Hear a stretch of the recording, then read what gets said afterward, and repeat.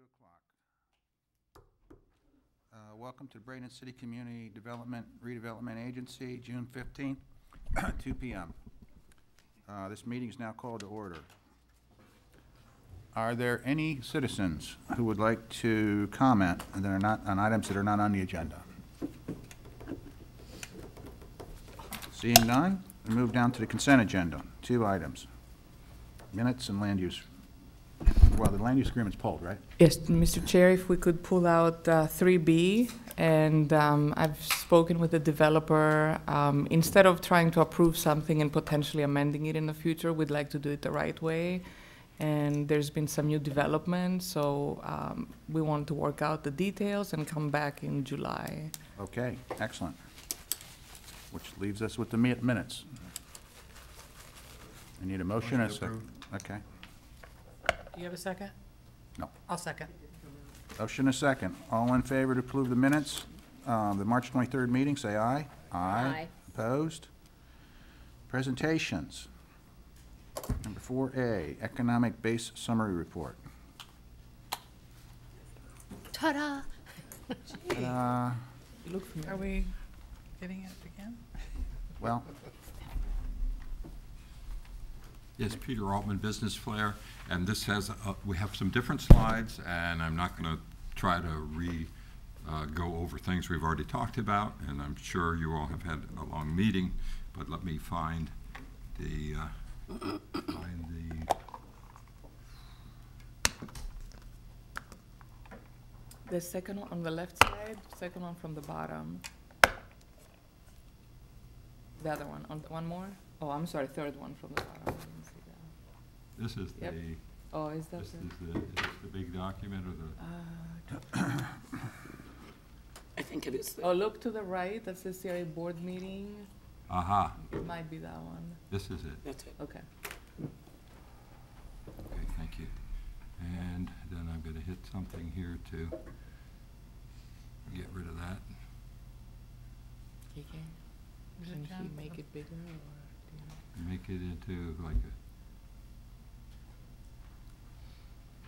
Hmm. uh, now I'm getting smaller, pardon me. Look down at the bottom, maybe.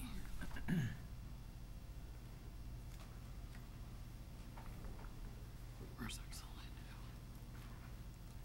Did y'all have time for lunch today? Yes. Yeah, look, see down along the bottom? The little arrow thing? Okay. This one? Or this one? Yeah, right there.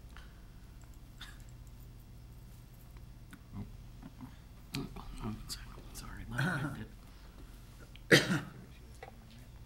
So we kind of start with the same story, which is the six drivers of economics and, and my company, Business Flair, uh, having the ability to uh, work both for the city at large and for the CRA districts. Thank you very much. Um, Today's agenda is just to uh, review. You've seen this slide, uh, capital, land, labor markets, regulations, and quality of life. So everything we do, we try to find that it uh, has some beneficial aspect to one of those drivers of economic growth. Um, These trends uh, that we looked at briefly uh, and discussed uh, uh, identify the main takeaway here, which is that the central CRA district having the lowest income, the highest family size, and the youngest children, uh, to go to uh, uh, Director uh, Sanders' question, we'll get drilled down into that to see, but many of the young folks who will become the workforce are living more, uh, they're more densely in that district than the other two. The 14th Street District also has an interesting situation. Their average uh, spent on a mortgage is, uh, is about the same. Uh, Their population is between that and that in the uh, downtown and the, the Bradenton CRA district. Um, And they're also in the middle in terms of their population distribution. The education is an interesting issue as well. Only seven percent of the central CRA residents are identified as having a degree, a college degree or higher. Um, twenty-four percent in the Bradenton district, and twelve percent uh, with a degree only in the Fourteenth Street district. So uh, education is probably going to be a, a comment that will arise as we continue to talk, and, and particularly when it comes to job training, even occupational training, uh, education uh, could be a good opportunity. Can I ask a question, or do you want? Yes, to ma'am, go ahead. Uh, rather than using median, or maybe you, uh, would it be helpful maybe to more do average? Or maybe both? Because maybe that's why that seems skewed. It, it- it's helpful to see both, isn't it? I mean, what's that person in the middle, and then what's the average of all? Mm-hmm. Yeah. Uh, and Yeah. that can help to identify how many of these are, uh, as is quite prevalent in Florida, grandparents raising a child versus folks in the middle, uh, uh, or single grandparent and three children. So there's a, there's a wide variety of differences in the households. But the bottom line is we know that there are uh, more people in each household, which is going to speak towards perhaps children, and the average age being younger helps to support that. But yeah, I think that's worth diving into. I know it's a question of interest Same with the all. household income, because there could be a pretty big, just, you know, we've heard that, that the difference is be, getting worse. So maybe you've got some people that are pretty high and some people Right, pretty and That may low. also answer a question from the earlier city meeting, where somebody could be making a million dollars, and that certainly covers It's- a lot of differential between what would be uh, where most people found themselves. I, I think the next slide will also help to um, give us more segmented uh, tapestry for each district. So we talked earlier that citywide, the largest uh, population was in a retirement community. Uh, But in the CRA district tapestry, um, front porches uh, is the identifier for uh, a lot of folks that are in there. And their median income is still up in the 40s, 43, where the retirement community's median income, uh, which comes behind that, is only slightly below. But then uh, small town simplicity uh, has a, a little less household income in the 30s. But in the Bradenton CRA district, those are all much higher numbers, especially in, in the majority um, that you have there, which is some oh, 90%, uh, 50, 60, 70, of the population being segmented into those three areas.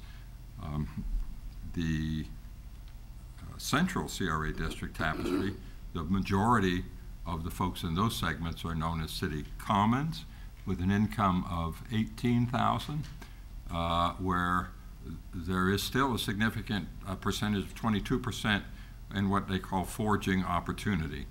And we can get better definitions to give an explanation of what those tapestries mean.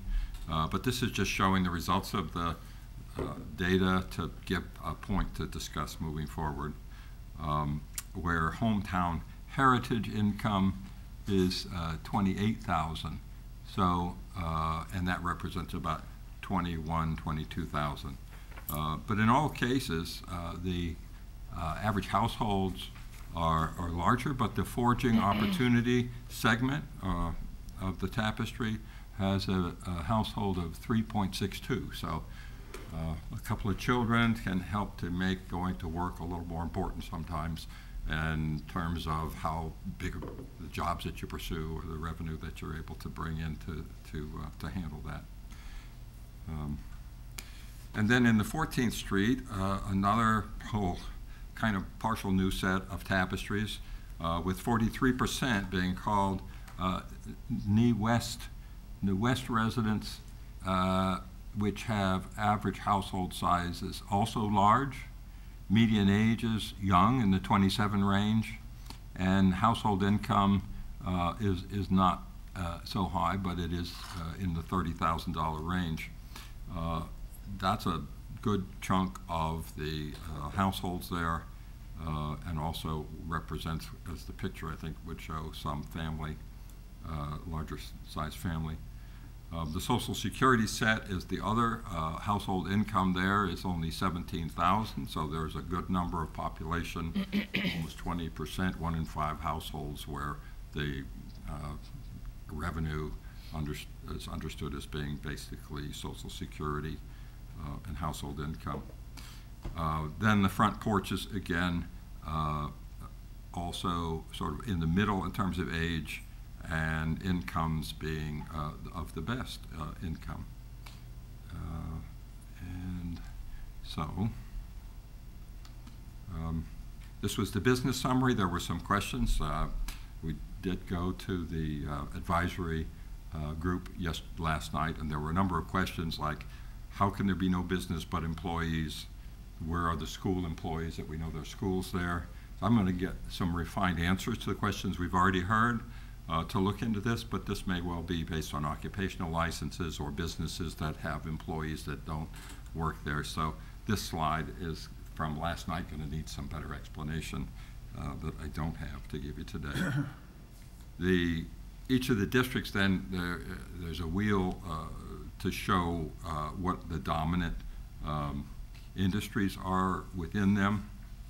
And my best uh, guess at these color wheels, which will come back and get better definition of which is which, is that healthcare and social assistance uh, is the largest part of the uh, Bradenton CRA district.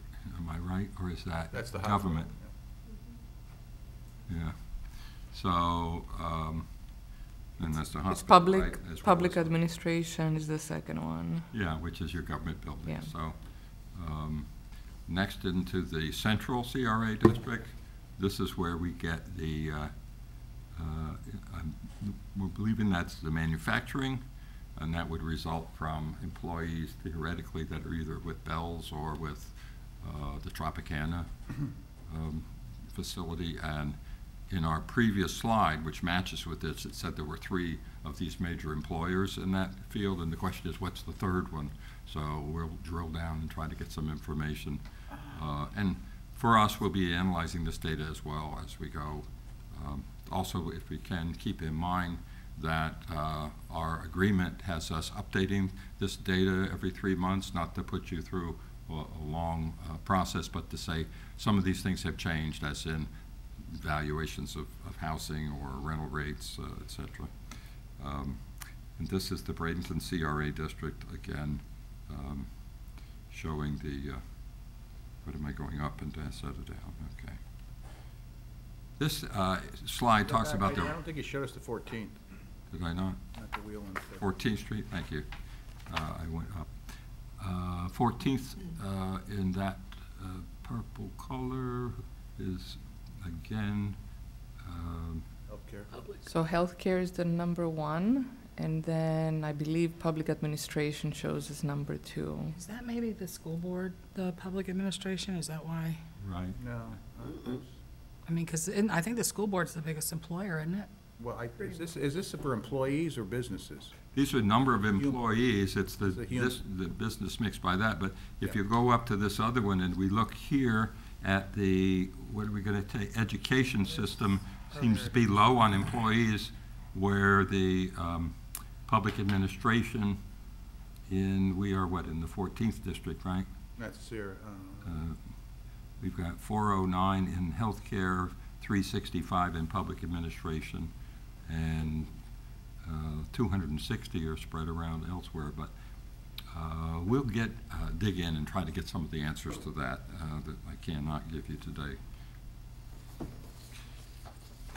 This is a, a look at the real estate market, the uh, Bradenton CRA district markets, and, and we have one slide for each district. It's hard for folks to read.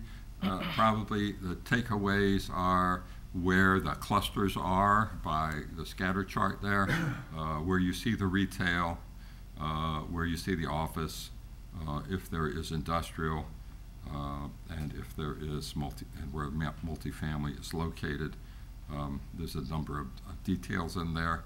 Um, The biggest, I guess, surprise, or if not surprise, uh, thing of note, is that the absorption rate in Bradenton is practically everything that's available is absorbed. So there's not much inventory that's out there. Uh, And in some cases, inventory is identified if something's for sale, so it doesn't mean there's not a vacant property somewhere. But uh, in terms of anything listed or available, uh, in, in just about every case, uh, the absorption rates are, have been uh, pretty phenomenal, which, which is consistent with this great migration that we talked, I mentioned earlier. Peter, that includes office? Because We- we, we, used- we always had, we've always had an office glut of, of, available. So it's not anymore? Um, The, uh, there is not much that's listed, uh, but there's details within that larger document that uh, we can Okay. drill into, uh, and you can find it interesting. That would be interesting. interesting to find out if that's changed, because that's just something we've always had. Yeah, and, and uh, Katerina, if I might, uh, i- if it's okay, if you get questions or things, if you want to sort of consolidate them, and then I can Yes. make a, make an appointment to go through those with the staff and get maybe answers on a weekly basis or some kind of regular basis. And single-family isn't, is that just lumped in with the multifamily, or? Uh, This one, no, I think this one does not have a single-family uh, real estate market uh, identifier on it. So there's one question already for our list. So let's find out how how Okay. that's going. Um, Central CRA uh, uh, District, uh, the Ninth Avenue, sort of between, is it Ninth Street and Ninth Street, or somewhere the historic downtown area of the uh, Ninth Avenue, um, would be the place that you would see um, some retail. Uh, There isn't much uh, that's remaining, uh, which makes it an opportunity. Um, And then on industrial, uh, you all know the locations of those, so uh, they're just shown on the chart in order to identify um, those clusters uh, for evaluation and, and see what you can do. Um, The rates for the uh, retail market, uh, eighteen, nineteen dollars a square foot. The office market uh, and the industrial rates are, are there. And again, the markets are listed there as having no vacancy. Those big structures are owned by individual organizations that don't, doesn't mean there's not capacity within them or size for them to be able to uh, be more productive economically than they are, uh, but there's, there's not out on the market for rent according to this. Um, And the number of uh, multifamily units is 588, and the market rate per unit uh, is $955, um, uh, which can also speak to the age of some of the multifamily market and/or other, um, any kind of rent controls or anything else that might be in place. Um, The sales price per unit, though, uh, surprised me, because it's showing at $171,000 per unit. W- Wow, which is not a high price, but when you go back and look at the, uh, at the 14th Street, um, I think I noticed that the sale price per unit of multifamily there is 113,000. So um, those are, those are relatively low uh, compared to the Bradenton uh, sales price of 237,000. Yes, ma'am? Just to, just to share with you, um, there's a house near me that was built in nineteen twenty, uh, but it was very well, uh, remodeled, you know, high-end stuff. It went for two hundred, Mhm. so it- there are few going higher now. Well, But that's not even gonna be in this, because that would have been single-family probably. Yeah, you're right. I think we're Okay, I missing, don't- I think we're missing a chunk. yeah. So we'll, we'll get a single-family report to you, and that's uh, part of the purpose of this initial exercise with you as well. Um, This diagram is done by- through uh, some Placer uh, data, which is tracking uh, movement and and foot traffic and the like, uh, and understanding the types of activities that are going on. And it does show uh, sort of the, uh, the the mustache along the river being the, the, the river walk and the nature preserve. So green is the area for some parks. Uh, The uh, light, uh, I- I'm the last person to call it a color, but I'm half between orange and yellow, so uh, the live component uh, is spread around, um, while the work and create component seems to be uh, sort of matching up with the Village of the Arts and, and the central uh, CDD, while uh, the destination component uh, is right there, right here, right where we are, uh, in a circle. Uh, So the opportunities there, as you look at that graph is to see- see ways to develop connectivity that can share the benefits of the natural waterfront and the river and the lifestyle of the downtown, uh, and, uh, and reach out and, and gain customers uh, from within the city, uh, and also maybe expand uh, the interest of uh, commerce beyond it. So, that being said, we're at the sort of next steps, which we would like to identify opportunity sites. There's already been comment at the last CR meeting, a meeting to look uh, with uh, the development that has the McDonald's, the triangular property. We've been in touch with the property owner and the developer who has agreed to meet with us and, and chat about what our findings are, and we hope that we can support uh, uh, by market analysis uh, the best uh, use for that property uh, to benefit the, the residents and also to provide a rate of return that's, that's necessary for investment. Um, The uh, impact studies, these economic impact assessments, we, we do, uh, which is a crossover between looking at opportunity sites and sort of planning and looking at the, at the impact of what you're doing economically, uh, not only to the bottom line or not just for, for tax receipts for your tax increment, but also the impact that it has on the existing residents and uh, the support of the retail. Uh, We'd like to highlight some redevelopment processes and benefits. We, we have uh, strong uh, data that uh, Kevin Crowder, who's the owner of the company, will bring. Um, I get to, uh, as the former CPA, do this, provide you with the analysis. Kevin will be here with me and to talk with you about some of the opportunities we find. But the Ninth, and it says Ninth Street, I think it should be saying Ninth Avenue, am I right? He's saying Ninth Avenue. Ninth Avenue, so that's a uh, uh, misstep on that, but Ninth Avenue corridor visioning is something that uh, Katerina will speak about.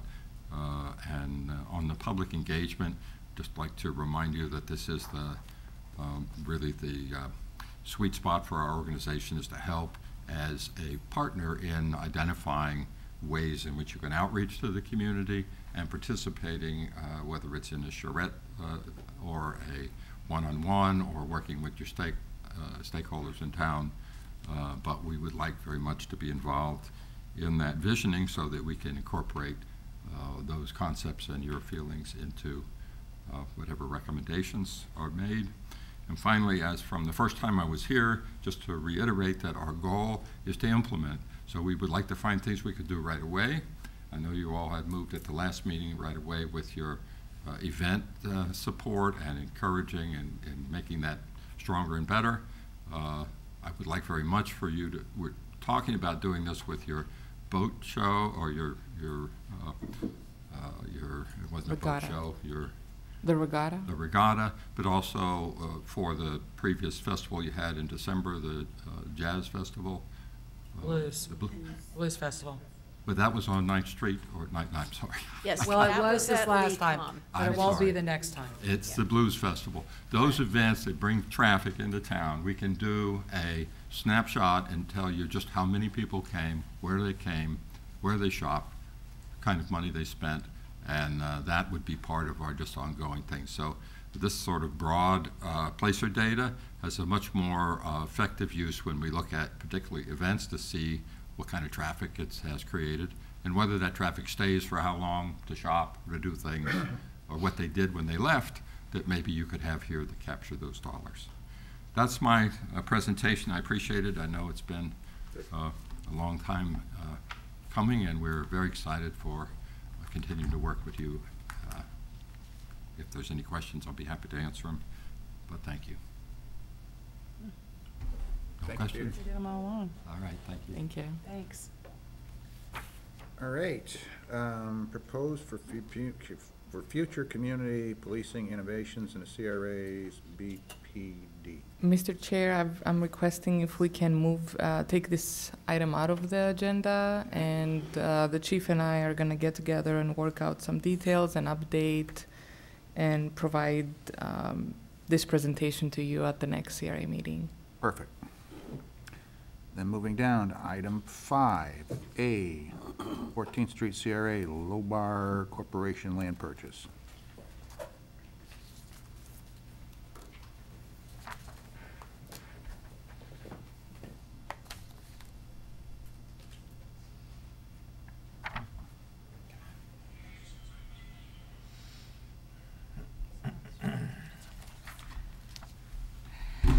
As you all know, we are the proud o- owners of five um, properties in the heart of the village. Um, used to belong to the Lower Bar Corporation, and after and uh, you know the days here, you all approved the purchase of the pro- uh, of these properties back in December.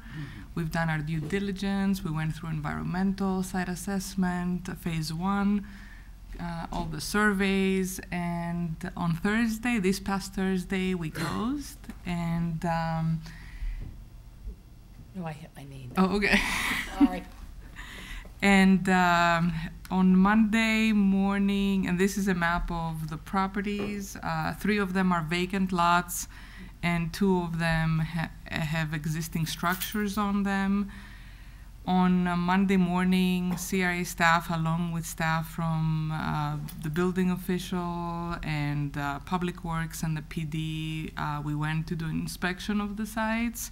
And I do have a presentation to show you the condition of these properties. This is not moving.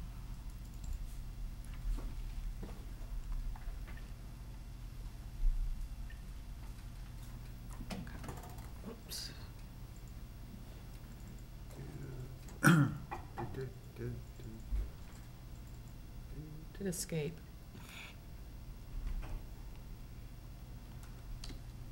There you go. All right. New IT director. Um, this is- There you go. okay. So the first one, uh, even though the numbering on the property says 1103, on the property appraiser is identified it as 1101, 13 Avenue West. And I do, I want to make sure we have that legally, that some of them can be graphic, so, so be prepared. Um, so this is the outside. We weren't able to go inside uh, to this property, but as you can see, there are several components even missing. Um, from this, and this is from different sides of the house, the condition of it, from roofing to the walls, and again going back a lot of um, issues with with it. I was able to go to one of the windows and and try to take a picture. So that's the inside of one of the rooms. Um, so as you can see, it's not in the best of conditions. Um, we were able to go into the 1111 13th Avenue West, and this is uh, the one one of the bathrooms. Some creative plumbing. Wow. I don't know how many code violations we could probably find with with these. This is on the backyard, the picture from the backyard. Some from the inside. If you see here, you cannot see it very well, but uh, all these were things making noise and flies and insects. Um, so all the black stuff that you see is, is actually living things. And so those were kind of some of the pictures. Um, Lovely. Lovely. we um, what we need is guidance from you on how to proceed. In approximately two months ago, you had mentioned you would like those demoed immediately. In the meantime, there was some request from the village of the uh, from the Artist Guild um, if they could use any of these, one of them, to potentially um, renovate it and make it into a community uh, type of center uh, or a visitor center. Um, we did get quotes about sixteen thousand to demo its property. Um, Each property or in total? each property is going to be about sixteen. Each property? Yeah. And I've gotten two estimates on both. And and um, it, we're looking the earliest mid-July, anywhere between mid-July to end of July. We're trying to make it as as fast as we can, but we need to know if you'd like us to demolish both properties or just one. Um, uh, the building official is here to give his professional opinion on the structure of the the two properties, and I will say that I would say my professional recommendation would be all to uh, demolish both, and then decide how what to do with the site. Good afternoon. Uh, Patrick Windsor, building official for the city of Bradenton. Um, After looking at the pro- projects, the, the, the properties and the scope of work that it would entail to bring them up or to do a renovation on them, it would bring it into, you've got three levels of construction, a level one alteration, which is replacing a door and a window or so. A level two would be kitchen remodeling, bathrooms, window replacement. This would fall into a level three alteration which means that the entire structure would have to be brought up to current code. They can't be done. It would, you would have to start over, because none of the, uh, my, my opinion is, none of the foundations are gonna work for current, current code. Um, the wiring, the plumbing, everything. It's, uh, you would pretty much have to start all over again anyway. It would never, it would never fit, it would never work for a, a level three construction. I checked out the one, the, the, the concrete house had the old twist-in fuses. Did the second house have those too? I, I wasn't one of the ones that went in. Um, I didn't see that, and if it's got those old panels, then it's probably got knob and tube wiring in it. Right. Right. So it's, uh, Right. there's, Well, Mr. Chairman, Ms. Barney? I think I've seen enough. Um, I am going to make a motion that we stand by our original decision to have both properties demolished, and the sooner the better, because my concern is they appear to be Open? open. They appear to, ha- and, and we can, we can go and board them up, and then people will go and try to take them down. Um, it's an attractive nuisance. It would be something that someone, and God help us if a child got in there and got hurt. I think it needs to be taken, I, I want both properties taken down, and as soon as possible. And that, my motion is that we continue with the original action that this board took. Second. Yeah.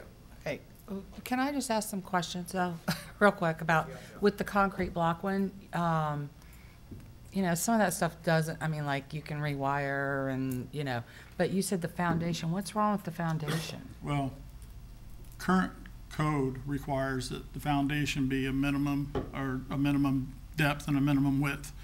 And the steel has to be in the footer.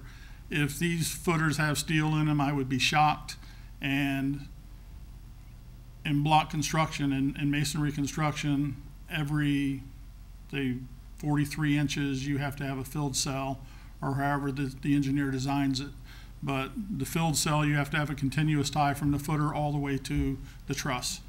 That's not happening in these houses. I, mm-hmm. it just, they're, they didn't have to do it back then. So mm-hmm. I would be shocked if it was built anywhere close to what was be required nowadays. It probably would cost more than it would be worth to do, so, I mean, I, I just was curious when you said about the foundation. Well, you know, and when I looked at it, like, especially the, like the concrete one on- on the corner, I, I mean, it was built as an inexpensive duplex, you know? I mean, it was a concrete, it was like, there was no, no thought put into What trying to make it built? an attractive building at all. Um, Uh, Don't worry about it. I, I think they're, they're a liability. We should, I agree with the m- motion already.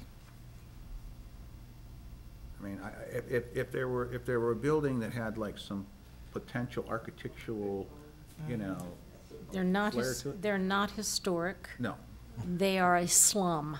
right, slum and blight. And we, our job is to eliminate slum and blight. Let's eliminate it.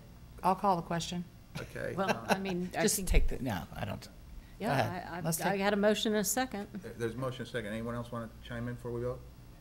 Good bones, fragile bro- bones, fragile bones. Fragile, very fragile. I, I would, I, I don't think this motion includes that, but I'd like to, uh, make sure that we, uh, uh, get some more bids, and I could probably help out on that. Uh, I- that sounds awful high, because I just got one not that long ago, and it wasn't near that. And I thought it was too much, but. We would love that if you if you give us, we'll I'll- contact I'll them. glad to Absolutely. help out with that, but, you know, things have changed, you know, Ah. it- overnight, things. But this know- wasn't a, a couple of months Yeah. ago. Yeah. I wouldn't put too much, I, I agree with you, It seems high to me, but everything has been like, I know. doing a reno has been, Yeah, I think sometimes. everything's been at least twice what I expected it to be. Well, and, and, you know, the one, the concrete house is gonna have a lot of weight to it.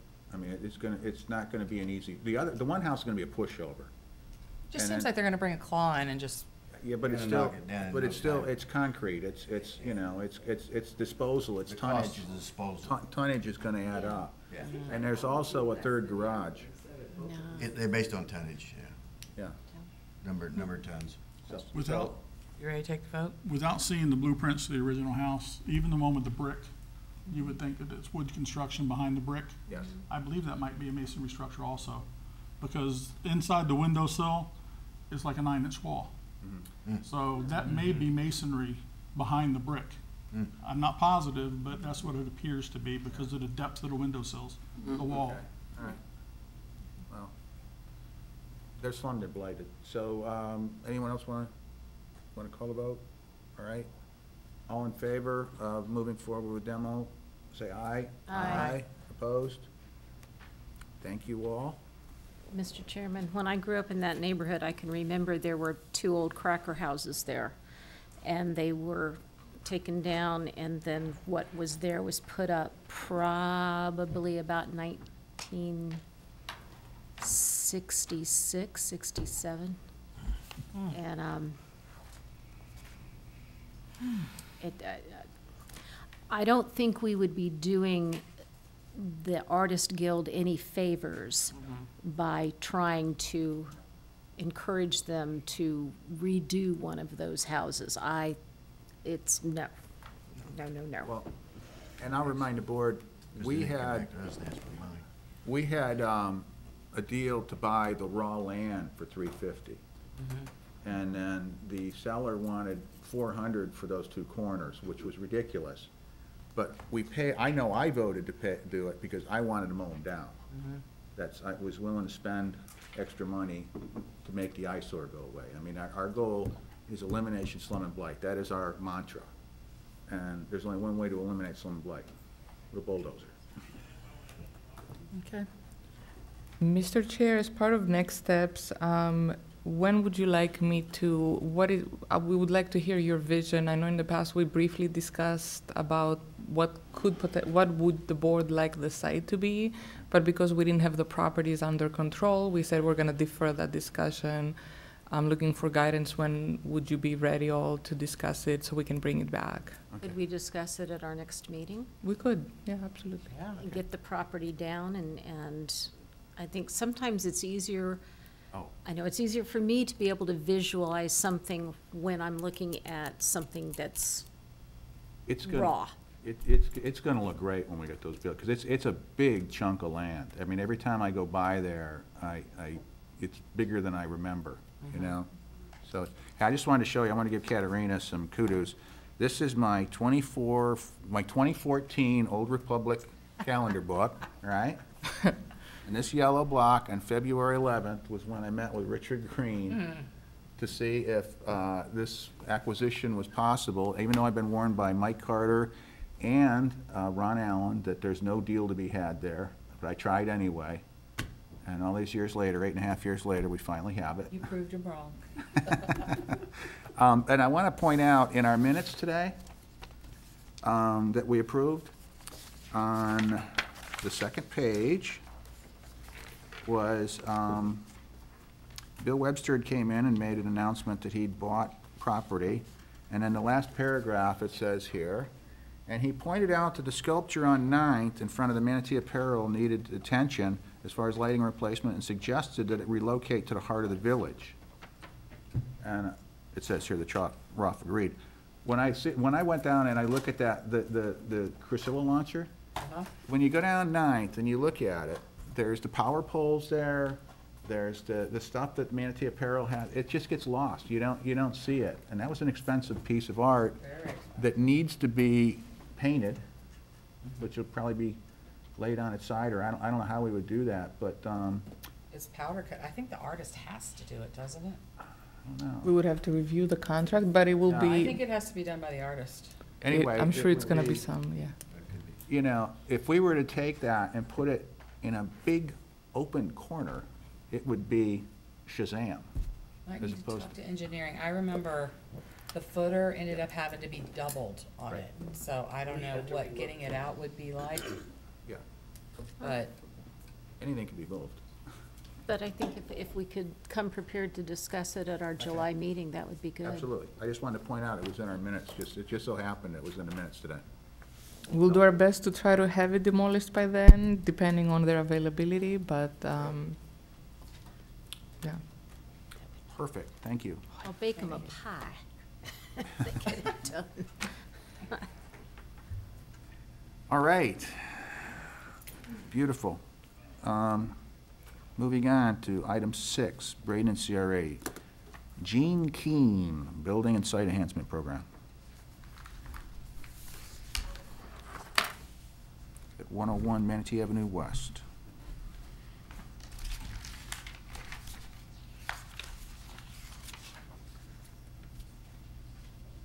So in case you're not aware, or in case location-wise, this is the building that Folly Bryant had occupied for a number of years. I do apologize for my voice. Um, Back in 2020, in December, Mr. Keene and his wife approached the CRA and asked for a grant, which was approved for $10,000 for replacement of windows and entryway doors. Um, Also paint. The purpose of the windows and entryway doors were for a number of reasons. It upped the building as far as hurricane um, wind mitigation and things of that nature. Um, So, so this grant was approved. After that, there was a lapse in time where we had not, no one in the office had heard from Mr. Keene. And there was a number of different factors that played into um, the prolonged improvements. Um, In your package, under the explanation, I've, I- you know, we've stated basically that the challenges of COVID um, really brought this project to its knees. Um, And as far as deliveries, um, materials, shortage thereof, and labor. Uh, This is the picture of before, which is really not that great um, to see, but it does give you an idea of, you know, the amount of windows in the frontage of the building and the side on both 10th and Manatee Avenue. um, That it does create, uh, you know, a, a- a nicer facade with the painting, new windows and, and their new entryway doors. This is the after photo with, the- with the fully painted. Um, The job has been, is, is now complete. It was completed as far as painting. That, that also took a long time because naturally when you remove windows from a stone or masonry block, you have to wait, re-stucco after the windows go back in and then of course paint. So he has now completed this, uh, and he has come back and asked if that money would be considered as still available to him. Um, Mr. Keene has owned this building for a very long time. He's invested in the downtown Bradenton, um, in the core, and other areas of the city. So I would like to ask you for your consideration of approving this motion and, and uh, allowing staff to disperse this $10,000 grant. Mr. Chairman, Yes, ma'am. I'd like to move for approval of the um, disbursement of ten thousand dollars to the applicant for the Building and Site Enhancement Grant for the property located at one zero zero one Manatee Avenue West. Second. Okay, It was a tie. motion and a tie second. Give it to her. Um, all in favor, please say aye. Aye. Opposed? Motion passes.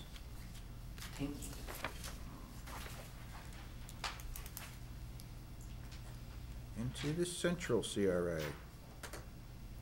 Um, A, update from community engagement and events, MLK Park and Love Park. Good afternoon. Let's see here. Have the Computer. back up. All right.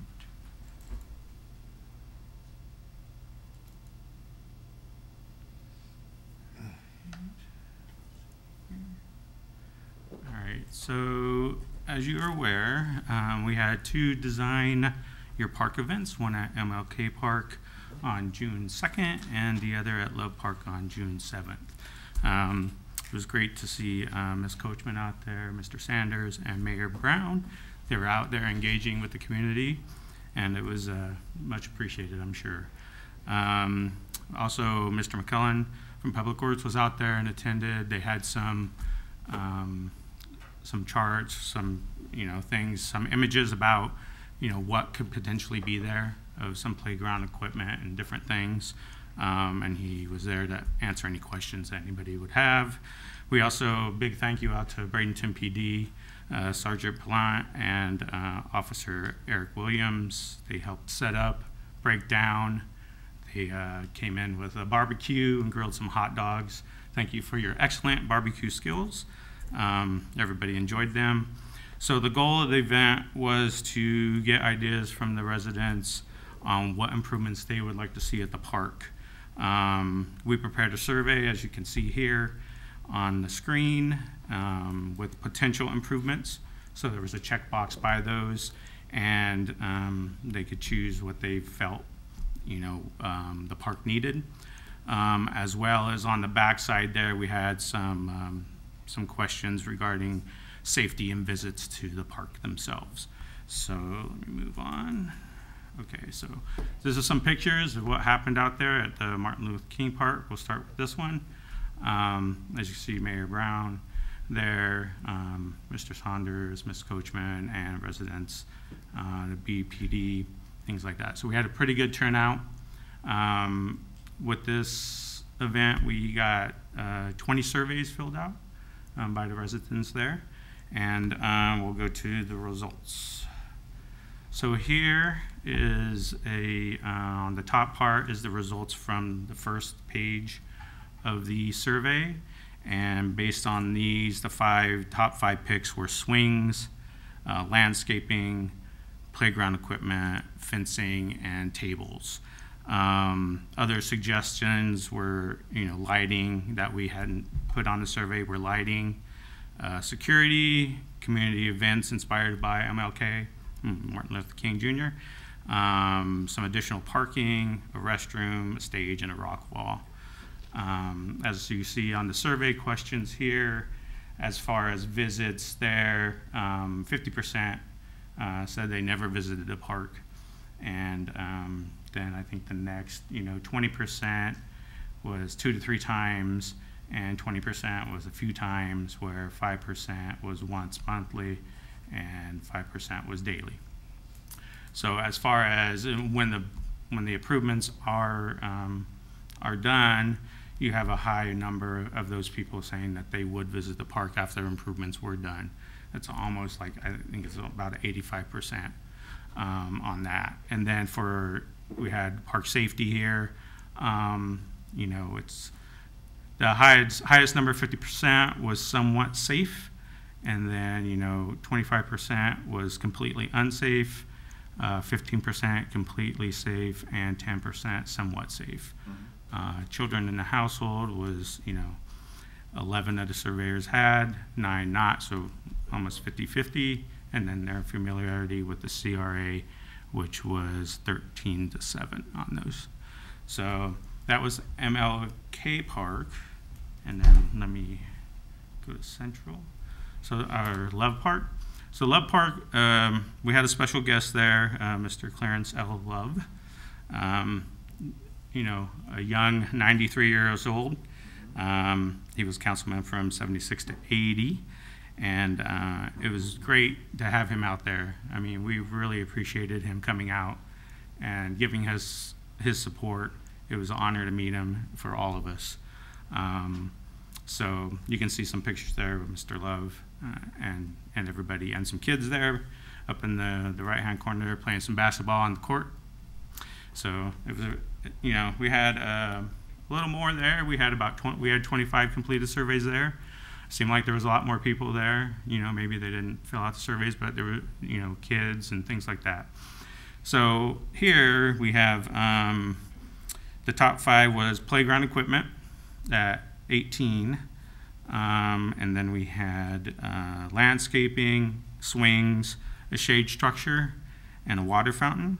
Um, we had a lot of other suggestions at this park. Um, you can see there was 23 other. So in this park, um, they asked for lighting, security, community events, updates to the basketball court.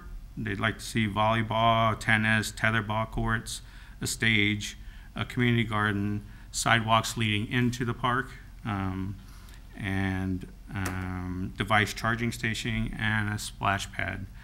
Um, the survey questions here a little bit, a little bit different. Um, you know, you have never at 31% um, visiting a park, uh, a few times at 31 uh, as well, 22% uh, once a month, and 13% two, two to three times, and 3% at daily. And then the park use after improvements was a high number. Um, you know, kind of reflects the other park as well. You know, that, you know, people would love to see the improvements and would be happy to come back. Um, the safety of the park, it's somewhat safe at 47%, completely unsafe at 26%, completely safe at 11%, and 16% somewhat safe. Uh, children in a household, um, you know, there was more, there was more people without children in the household, um, and then a couple unknowns that didn't check the box. That's what that is. And that familiarity with the CRA is about, you know, almost 50-50, a little, a little more than that. So um, that was the results of the survey, and um, what our next steps are is basically to um, have a meeting with the internal departments to discuss the results and what are feasible improvements that can maximize the allocated funds and with reflecting the residents' vision for the parks. Thank you.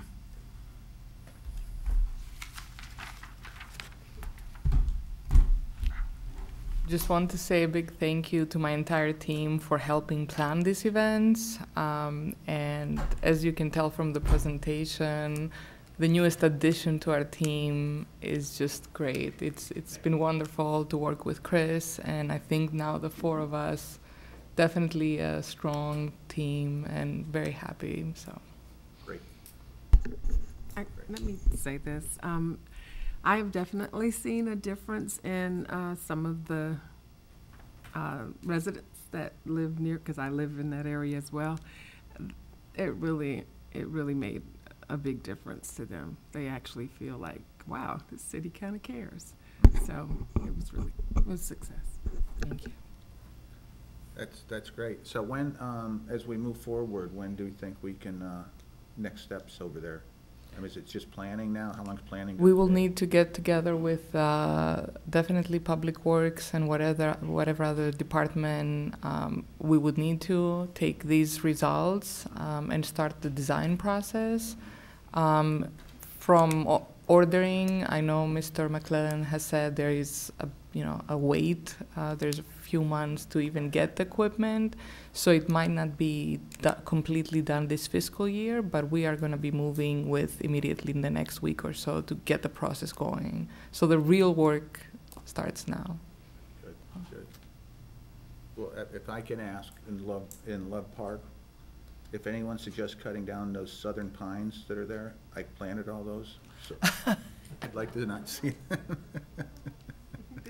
They Yeah. They yeah. give good shade, so that They're- would yeah. We picked out, they- Yeah. they're, we, we chose southern, southern trees. Yeah. Um, I hated to have to miss, miss the event, but I had a previously scheduled, um, family vacation with my three grandbabies and I couldn't miss it. But, um, I have recently seen some, um, pretty spectacular, um, handicap accessible, uh, playground pieces. And I know we have one on the Riverwalk for the pirate ship, and I know we've got one coming to Lewis Park. I think I'd like to start putting that in the mix. I know it increases costs. Maybe we can find private partnerships for it. I don't know, but I'd like to start seeing if we can get some more. Because I, I just watched something the other day on one that they've got this new one up in New Jersey called Field of Dreams that is just spectacular. And I thought, and, and you could see it on their faces to finally be able to go and play in the park. Um, so I don't know if we can, I don't know if this is the right place to do it. I just want to start beating that drum a little bit. What did we budget for those parks, Katarina?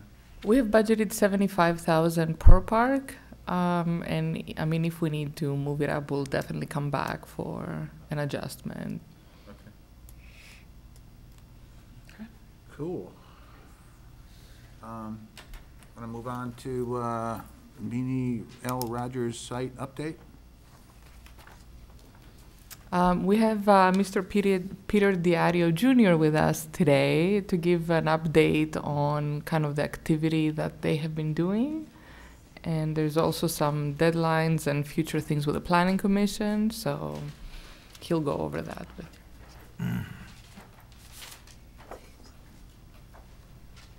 Good afternoon. Peter Diadio Jr., filling in for Peter Diadio Sr., who's up in Connecticut at this time. Um, since our last uh, meeting, we've done a handful of things. Um, the first of is continue to follow up with the neighborhood uh, meeting that happened a couple of months ago. Um, the the neighborhood spoke that the vision had changed slightly, and we were looking at things like Family Dollar, Dollar Tree, other retailers that might be uh, Supercuts or Sports Clips. Um, so we've been looking into some of those. Some of those companies are doing their own market review to consider. Uh, we were approached by one local um, company or business called the Judson Family Chiropractic, and they're a smaller company, but they might fit in the, the space. So we are open to that sort of a thing. Um, ooh, thank you. I will, I will get to the map momentarily. Um, well, we also are speaking with uh, Walgreens still and a vitamin shop that needs larger spaces. And again, I'll address that in the map uh, in a moment. Um, regarding the McDonald's, which is the, the you know the uh, the carrot and the promised uh, tenant so far, we are we have applied for the special use permit, um, and that's going to be discussed at the next uh, planning commission meeting, which is June twenty first. Um, I did. I was informed though that it, that's more of a staff review, and they're probably going to follow it up with. Yeah, it's DRC. Okay. For for your special use. Right, right. And then the actual hearing for that would be later, like in July or August. Um, but, so this map, this map is uh, included in that special use permit. Um, It is a little bit updated. The last time uh, I spoke with you guys, um, you had more concerns about having the buildings on the main road instead of tucked back. And this um, sort of uh, continues with that direction. This is more form-based code. Um, The McDonald's being the building on the east side. Um, The building in the center is a 10,000 square foot building, which we want to put someone like those larger tenants, like a Walgreens or the Vitamin Shop. And then uh, the new addition on the west side is a smaller 3,000 square foot building that can be two floors or possibly three floors um, with an elevator. And that could be used for smaller tenants like um, the Judson Family Chiropractic or the Supercuts. And that could be either three thousand square feet for one company, or it could be split in half, 1,500, 1,500. Um, uh, we don't have any tenants to even submit for approval, but that is a good plan, we think, for filling in whatever companies, uh, you know, will work for us. Um, I did listen to Peter Altman, who began his, uh, his analysis, and uh, we got lots of demographics, updated demographics. But um, we'll see what else we can come up with. What he will also come up with for what the community needs, and we'll, we'll listen, of course. And do I have anything else for you?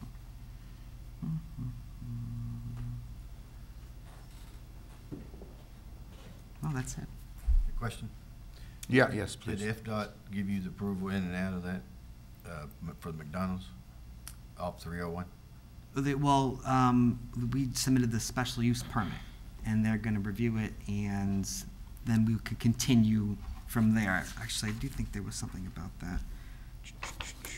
I didn't know where they was at in that process. Yeah, the, uh, it's been filed, and the, the What? meeting, the first meeting is uh, this month, the twenty-first, and I believe there's a follow-up hearing, uh, after. But when they're done with that, then we'll come back and, um, finish up. Do you think probably July or something? I hope so. I hope so. And, well, yeah, asking them and then, like, oh, Right. I, I'm sorry, I take the question. There was another thing, uh, the DOT was another angle, and we are up to date with them on all of the market or the research they need to do, but we will go back with them after that is approved and the, the whole site plan is approved, because there's nothing more to do until it is. So that's, that's where they're at, DOT. So then after that, then it's, it's, it'd probably be ready for construction then. Oh, sure. I mean, we, we do have a deadline, right? That's, um, by the end of the year, so we like to keep moving. McDonald's being the first, and then we will, you know, work these out as we go.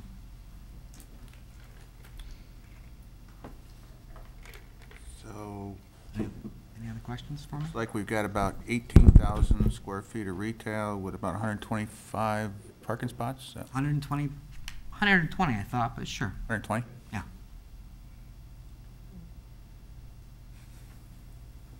Okay. Any questions? Mr. Chairman, if I could, I just want to, for, to clarify, because this says update, is the board being asked to approve anything today?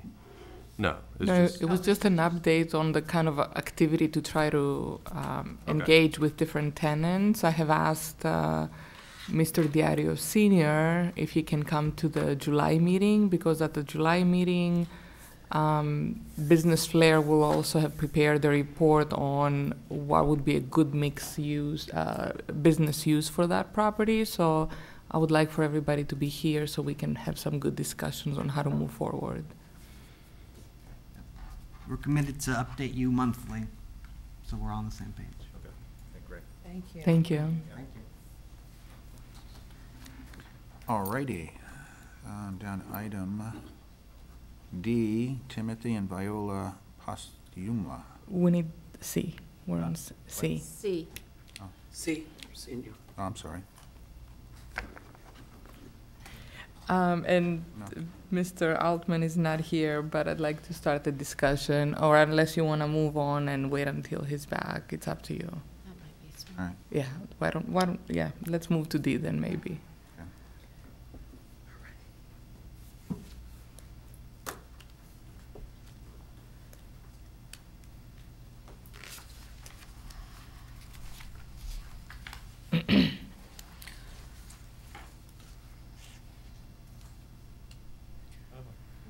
So this is the second of two grants. Um, pretty much same circumstances, only this one was a little bit different because I was made aware of it via, via an email uh, from the applicant in March. It took me probably three-plus weeks to locate the file. I was unaware of it, but I did locate the file. I found the paperwork and the appropriate documentation stating that the grant had been approved. Um, and it's a building and site enhancement grant I reached out to the owners, which are the Postumas, and asked them if they could just elaborate on what happened, why did, why such a long time. Um, and at that juncture, I wasn't really sure what the, the end result was for the building. Um, and they explained to me that because of COVID, I believe there was some illness involved. Um, and if you see, there's a quote in here that I'll read to you quickly um, from Mr. Postma. And this was from the March 14th, 22 email. It says, after issues with COVID and our builder, we finally finished the project and received our certificate of completion, which I have um, in my packet. Um, I know it's been a long haul. I would like to know if the money for our facade upgrade grant is still available to us. Um, I since that point met with Katerina, we spoke with Postmas, um, and obviously wanted to bring this back in front of you to ask your consideration. Um, the, this is, these are two after photos, which are just stunning in comparison to what that is. This is in the central CRA. It's very close to Ward Temple ME. Um, it's, uh, it's just a, a night and day project. Um, this is a live work situation for, for them. And, um, I, I would like very much for you to consider this because it's just such a tremendous improvement to this area. Wow, that's, It's, yeah. that's pretty impressive. Isn't it though? Yeah, And I, I hope we can reward that. Yeah. Well, I would like to make a motion to approve the disbursement of ten thousand dollars to the applicant for building and site enhancement grant for the property located at 417 10th Avenue Drive West. Second. Okay, any more discussion? I think- Thank you, I mean, it's just bless them. beautiful. Yeah, Yes. Yeah. Thank you. And I realize some of this, I mean, I think we've had an, obviously COVID, we're still, but we're getting to the end of that now. Yeah. I And I'm glad- honestly, yeah. Um, this came almost simultaneously, and I did not, I didn't realize the ramifications that were involved in COVID. I mean, I know there's Mm-hmm. a lot of layers, but these people persevered, and, Thankfully, they did. yeah, and But God I- I bless them. think we need to stress, though, I mean, we do have rules for a reason. I mean, And- yeah, and- but we're not inflexible.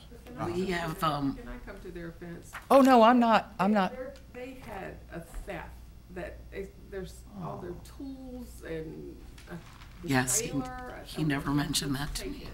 Oh, yeah? And, and did they, they didn't even mention that, did they? no, ma'am. I was referring to going forward. No, no, no, I know, I know, I know, Not but I'm them. just, I'm Yeah. just defending them Well, bit. let, let me, let me add to your comment, which is But you're right. excellent.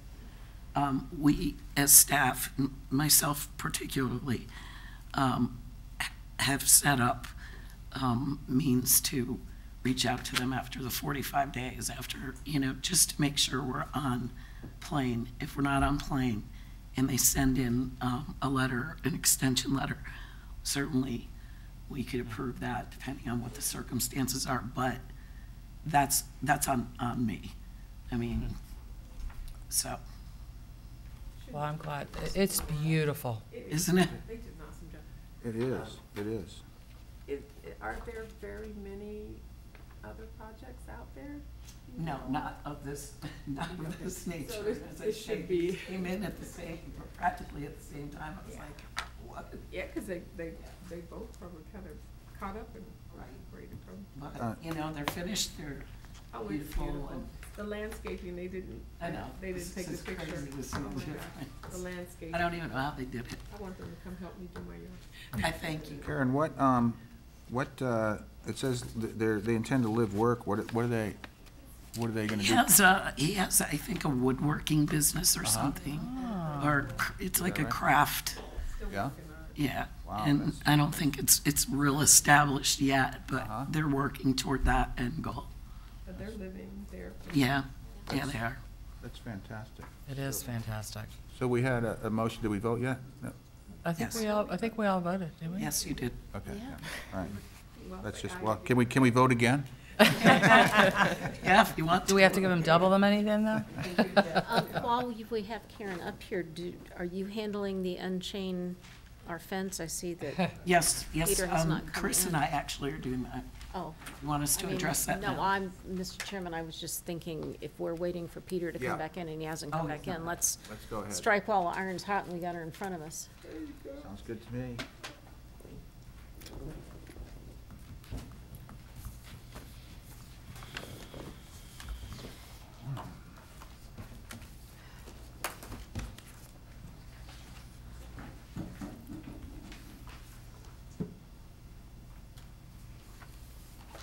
So in your packet, you have um, the revised Unchain My Fence program. Chris and I, actually, I've been working on this for some time, and since my new partner in crime is here, um, he was just great help to get his insight, his ideas, and his skill set. Um, Between that and working with Katerina, um, I think we pulled together an even better program than, than the original. Um, it's been a super successful program. Um, and then in summary, I just, you know, briefly wanted to say, and then I'll, I'll let Chris have the floor. Um, this grant's been revised in order to reach all three CRA districts. It was previously only in the fourteenth district, fourteenth street, excuse me. Um, and basically, it's to ease current economic drivers that have increased the cost of materials, delivery, and labor. Um, revisions to the document are consistent with the format of other language in the grant, such as the sections broken out, numbered, um, and the same language um, as the new restaurant grant is and has been approved. So as we come before you with these grants, um, just know that the formatting, language, things of that nature will be consistent throughout all the programs that we have. Um, Chris, you want to take it from there? Sure. So, I want to thank KK and Katerina for, you know, uh, bringing me in. One, two, this was like our first collab Yeah. on something. It was like, you know, almost the first day I think they, they brought it to me. So, This was good, we didn't kill each other. yeah. So, no, it just, it speaks to, um, you know, how, how, how we complement each other and, uh, we're, we're there for each other. So, um, she, she picked on some of the things. The other points are basically that we up the budget, you know, or we up the funding, uh, from two thousand to six thousand for the front linear section. If you had a corner lot, that um, increased from three thousand to eight thousand dollars, and we still have the same split um, between the CRA and the applicant, which is an 80-20 split. Eighty to the the CRA and twenty percent is responsible from the applicant themselves. So um, another thing we modified is that we had a um, let's see no modification. I think it was at six years previously.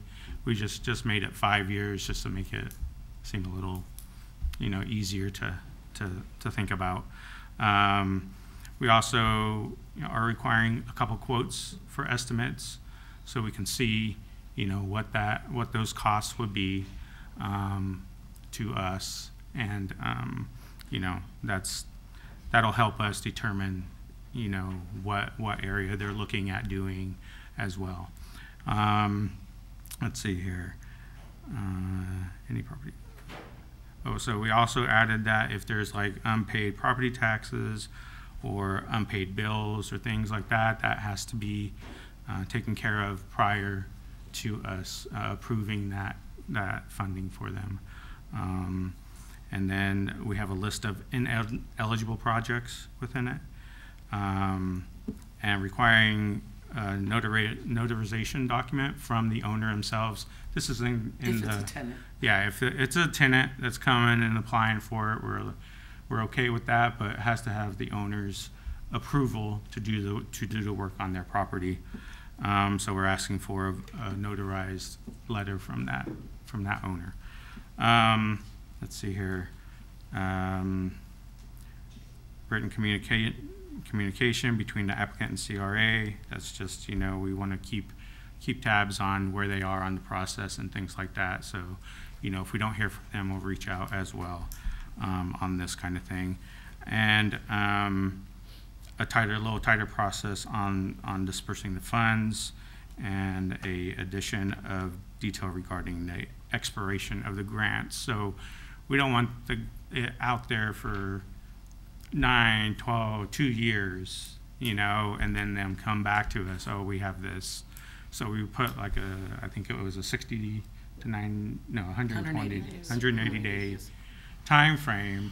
And if, you know, in that, if they're not able to get it done or They can reach out. they can reach out and we can extend that if, if need be. So those are, those are the major changes to, to the agreement, to the grant.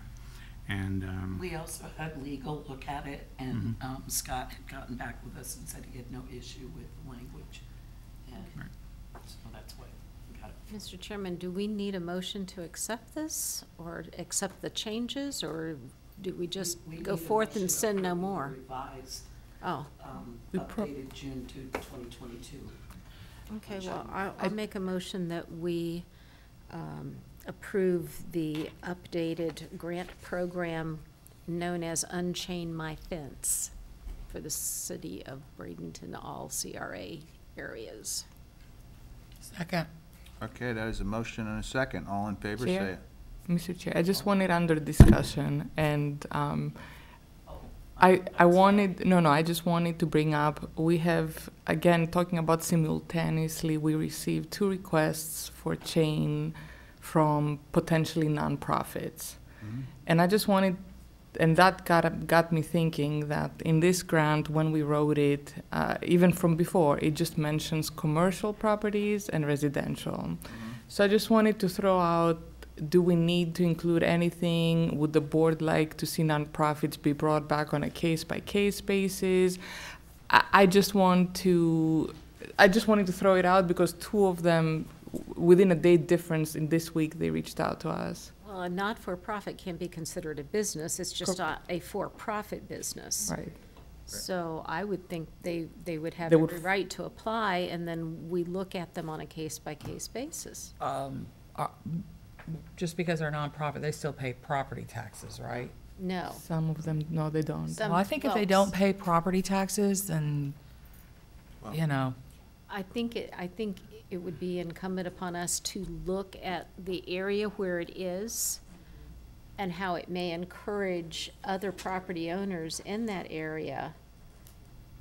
Because, Pam, do you have something? Well, maybe if we, we came up with the criteria specifically or stipulations specifically for nonprofits, but I, I, I don't think just giving it more thought. I don't know, You, you were supposed to get, uh, uh, uh, guidance on this from the state, uh, on, I thought, on, uh, if we can legally do this. yeah. I reached out to our attorney um, to get his legal opinion, especially because one of them is a church. So I just wanted to see is there any concern that CRA funding would go towards a grant program to a religious institution? Mr. Rudacille, if you'd like to talk about our discussion. Yeah, we talked about it last night. I've not had a chance to look at it yet. I know there are some um, constitutional provisions related to providing funding to uh, religious institutions, so that's something that we have to look at if, if we have, you know, a church as an applicant, uh, as an example. okay, well, that, to me, a church, while it is not-for-profit, it is a different Correct. It is, it's a different So- category. Mr. Chairman, what I will do is I will withdraw my motion and ask that staff look into this further and bring it back to us. Uh, My, my, my thinking is that, I- I mean, just a- another train of thought is, you know, chain link fences are ugly. That's why we have a program, is to get rid of them. And should we really nitpick over whether it's an ugly not-for-profit or, Or an ugly for-profit. Well, I'd like to see her keep the motion on the floor, but just to bring up the nonprofit later, after we get. To get. revise opinion. it. Yeah. Just to, just to take, we've never had nonprofits in there before, for- to my knowledge. So I let's just leave it the way it is, and then we can do that later, once we get an opinion. If we can even do it. We might not even be able to do it. You know what I'm thinking about. Say it out loud. If, if I could just interject, um, it, it's, won't be considered for just one grant. If we do it for one grant program, we need to do it for all of the grant programs. So, it, with that being said, um, what if we put a stipulation in for the time being that it's, it would be solely the, the, the CRA boards you know, to their discretion on a case-by-case basis until such time we can come up with what, you know, I, I'm just I don't think throwing it's gonna hurt anybody for us to consider this at our July meeting and get more, um, a, a more of a comfort level that we're not crossing boundaries here that we don't want to cross. Understood. Is there anybody waiting right now We have for us to had get this inquiry, passed? But we don't have any applications in yet. not as of late, but, but we would have to address the person that's coming forward saying they want to fill out that application. Well, uh, that's up, Karen, does this, M- My, this, re- this document does not include not-for-profits right now? That's correct. Okay, so No. let's pass this. my recommendation would be if we can can approve that, um, be- in case somebody does apply tomorrow. Yeah. And then we'll look into the nonprofit. I don't, I, I don't believe that we need to have the nonprofit in every grant. Every grant is different, and we can decide where, what language we include. But because it did come up this week for, and one of them is for a chain, for a church. So, and we had already posted the agenda, we had already prepped up, so we didn't have, so I apologize for bringing it today, but um, I, I- I thought it was important for us to begin addressing that. So I, that would be my recommendation, to approve it, and then July, we can come back and have more discussion and amend it potentially. So we've not Miss- ever provided this for a nonprofit. We, we have in the past. We have. Not the chain link fence grant. Well, Oh, uh, we, we- not the chain link, but we have some of Yeah, our grants, uh, yes. Renaissance. Something for Humane? Renaissance on Humane Ninth. Society. Yeah, Humane Society, we, we did a mm-hmm. fence for them. Yes. What, would- wh- why did we do it then? What, what, I mean, if it was a different, Well, it was right- Fourteenth Street? It was right on the Fourteenth Street corridor. I mean, they, they, they were doing a lot of remodeling and painting and everything, and we wanted to throw a little, I, I remember it. Do they own that or do they lease that? They own it.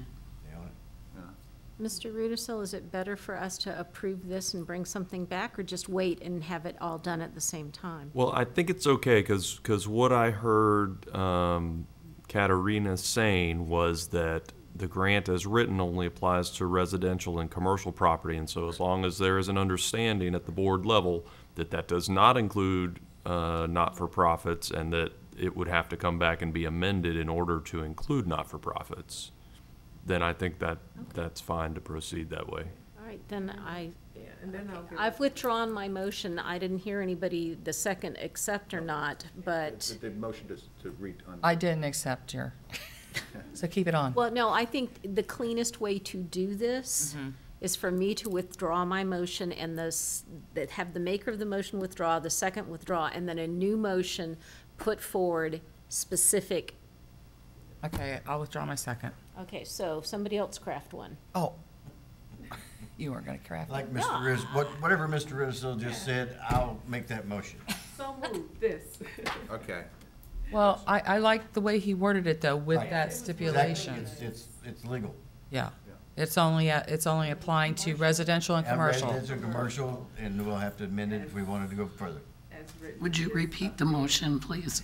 I think it's a motion to approve the updated grant program Unchain My Fence with the understanding that it will only be applicable to residential and commercial properties and not to not-for-profitly owned properties. Okay. Okay, So we have. Second. There's a motion, a second. All in favor, please say aye. Aye. Opposed?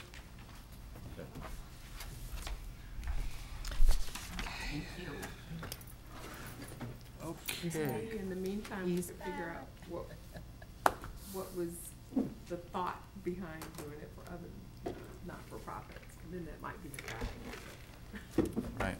Well, and we're moving forward, so we just want from now on to be consistent and be fair to everybody also.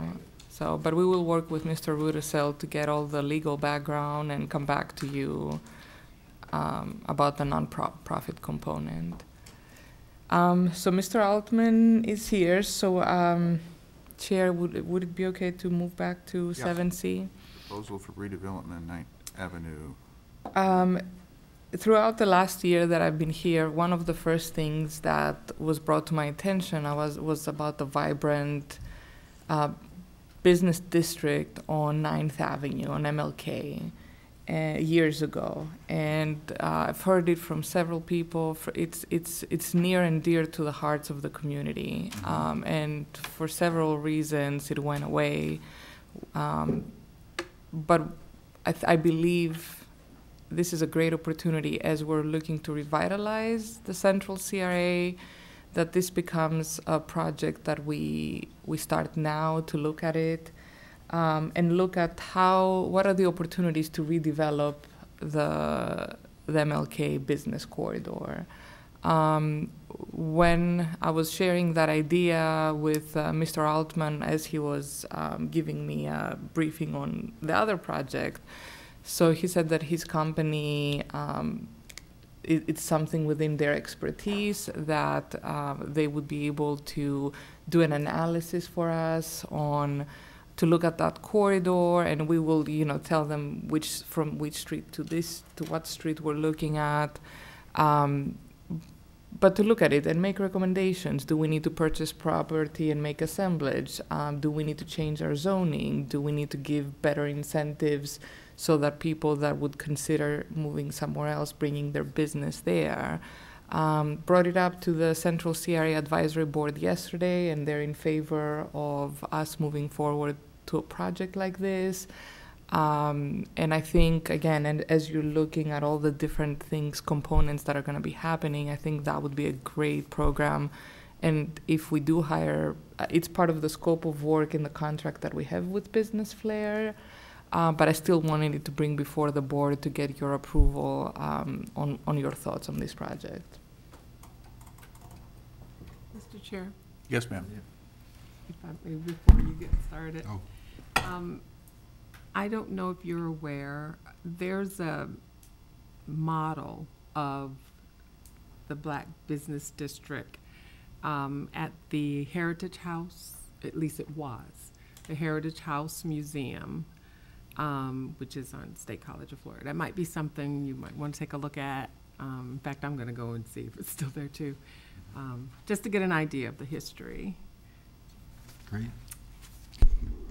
Thank you. I guess if you all are looking at me to speak to this, uh, I, I can only say that our suggestions that we have are that as to all three of the CRA districts, that this is the time to actually get visioning and uh, get moving on all fronts. Uh, and particularly after this morning's discussion from Department of Transportation, because you know, getting funding for infrastructure and major improvements in districts that don't have the, the budget just in terms of the tax increment, uh, the goal, I think, from our standpoint is to be able to show some renderings uh, after having uh, both uh, the analytics from the fresh eyes from the outside, but looking at the historical uh, uh, models and also reaching out in the community. So one of the takeaways that we had from a little discussion about this last night at the advisory uh, board assembly was um, making sure that the people who live there were incorporated into the solutions. So some, uh, some redevelopment says bring something in that's working somewhere else. Uh, I know that, uh, uh, that there are businesses uh, that are black-owned or Hispanic businesses that are successful in other parts of Tampa Bay. So part of the strategy could be recruiting, but the other part of the strategy is really to uh, find a way for the, uh, the community to uh, be, uh, to get back to that historical uh, participation that they've had. So we would like to put something together for Katerina within her budget, and I think I've had this discussion with her before, because our, our contract is both with the city and the CRA, and it's for a straight dollar amount. And our goal is to make sure that we show you performance, uh, because we would like to continue our relationship with you uh, as sort of uh, auxiliary, uh, ancillary uh, part of the team. So um, I don't know that we have a figure. I mean, if you want to say to, uh, I don't know what you're asking for, Katerina, but uh, in terms of authorizations of how much money to spend, but I think I've seen that you put uh, a lot of that back to, to her and uh, to the staff. Um, We certainly have a desire to take what we have this year to spend time and effort in each of the three districts, holding public uh, uh, outreach, talking to stakeholders, and also uh, surveys when they're needed, uh, and participating in all that. That being said, there are other companies and other partners that you have that are already doing some of that. So the real goal is to coordinate all those efforts, whether they're external efforts, opportunities for grants, uh, and the local, uh, you know, vested folks to just be part of that team. So um, if you're looking for a number, I can throw one out to say not to exceed to get us moving if you think that a motion's required for that. Or if the, if the board is uh, so inclined, as she's mentioned, we have a contract and if you'll let her direct me for a while uh, and see what we can produce, I think that can, that can allow us to move quicker uh, through the process as we go and keep you posted. And uh, so, what's your pleasure, I guess? Well, Katerina, what, how would you like to? um, I, I don't mechanism? I don't know what the cost will be. I know I kind of had asked an approximate number. Um, so I- I'm just trying to make things expeditious. Um, I don't know if you want to give me an up, an you know an up to not to exceed, and allow me to coordinate a scope of work with them. However you'd prefer. I just What would you, I'm s- thinking right now, like the scope of work, um, where would you, would you, st- I'm assuming you'd start at like Ninth, Ninth, Ninth and Ninth, and go to what, to what cross street, twenty-seven? Will you go that far? Would you not go that far? I, Ninth Street West yes. to Ninth Street East along. Oh, okay, okay. Well, that's, And I forgot to mention the good part of it is that half of it will be from the Bradenton CRA and half of it will be Yeah. from the Central CRA. So that allows us um, to not just tax one of the districts. that's true. We would be happy to give an update at your next CRA meeting. If you want to give a figure, whether it's $5,000 not to exceed, we can at least expend whatever time as fast and as much effort, and you can, you can look at the value of that and uh, what the next steps are and take it one step at a time. Uh, But, you know, um, it- we're on a time and billing, and and I'm uh, so excited to be here, I forget to put my time down sometimes, so. That's all right. That's good, that's good. We like that. Um, All right. Do you need a motion right now? I leave it up to you. I, I mean, I don't know. I just need direction on what to do for sure. Well, I mean, can the motion just be that we authorize you to move forward on, Uh, on this project, uh, uh, on, on the concept of, uh, you know, what it would take to redevelop Ninth and then to come up with some kind of quote at the next meeting? okay. We would like to start now if we But can. Well, that's, that's what. the only problem is September. Th- the contract, current contract, ends September 30th. So if we wait until July 20th, that only allows them two months to put something together versus starting now. So, do you want us to?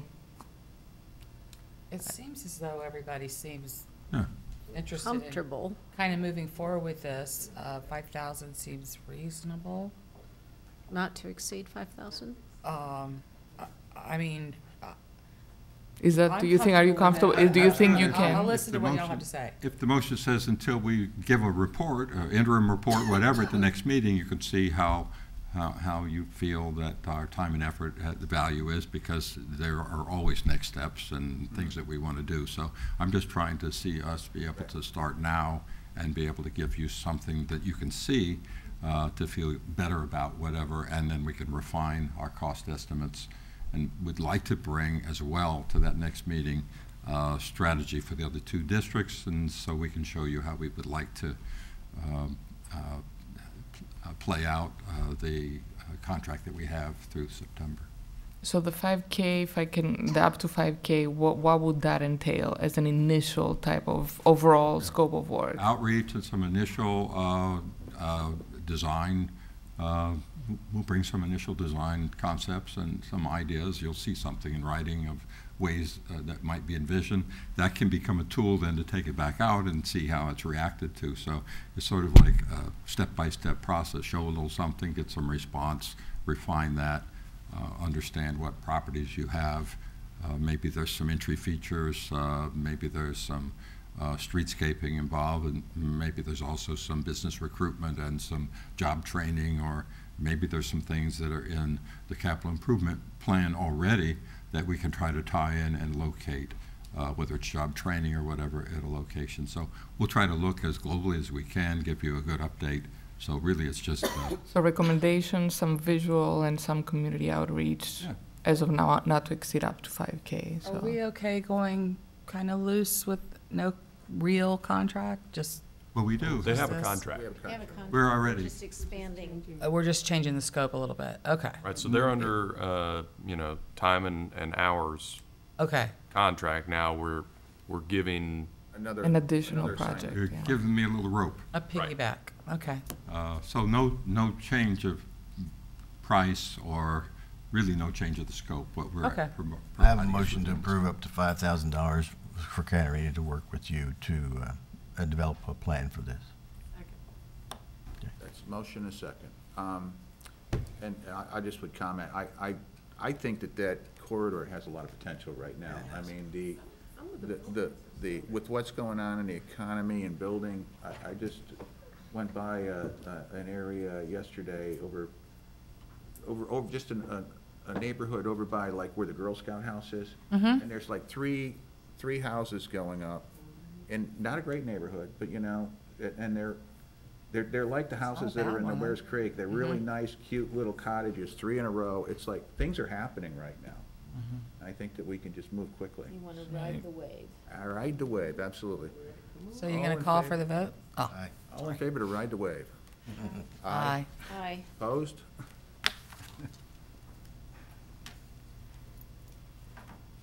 Okay.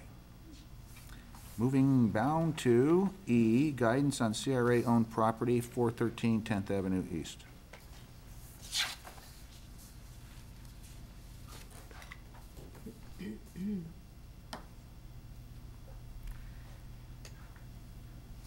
Um, this is uh, one of the rental uh, properties that we have. Um, it's uh, currently we're receiving $775 um, and it's on a month-to-month basis. With all of our rentals, with your previous feedback, we've asked them not to renew the lease because in the future we don't know what we may want to do with the property, so we wanted more flexibility on that. So as of now, it's on a month-to-month basis.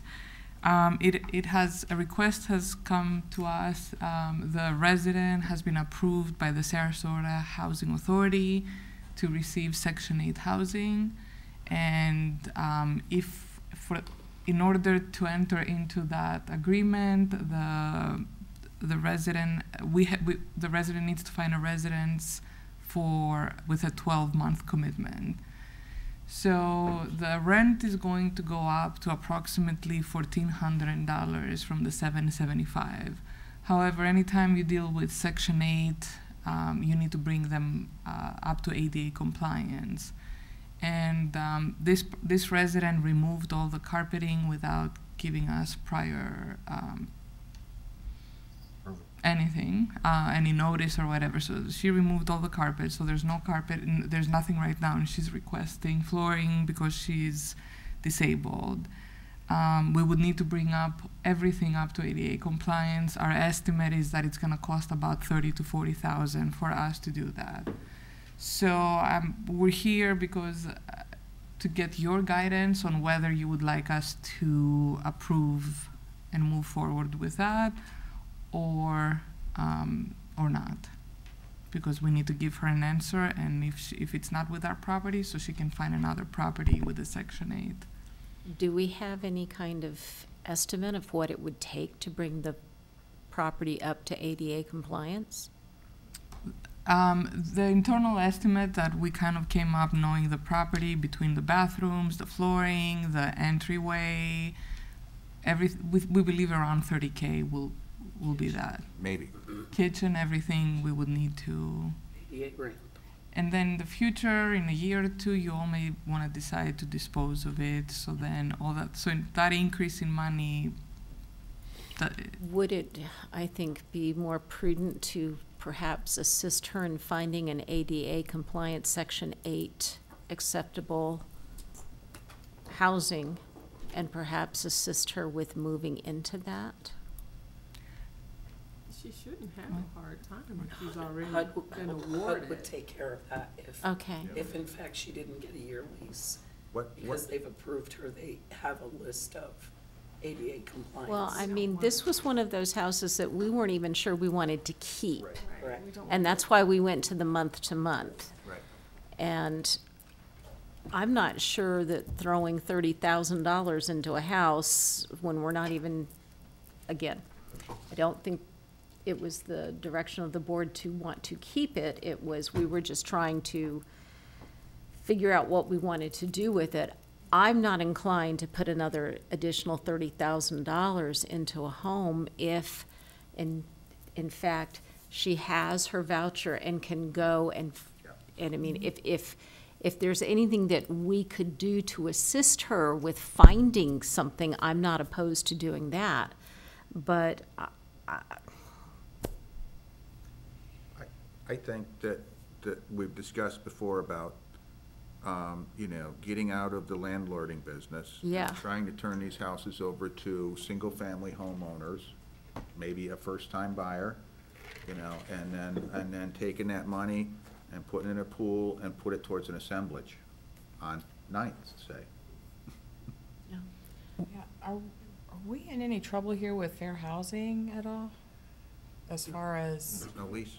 if we're, li- well, there's no lease, but, No lease. okay.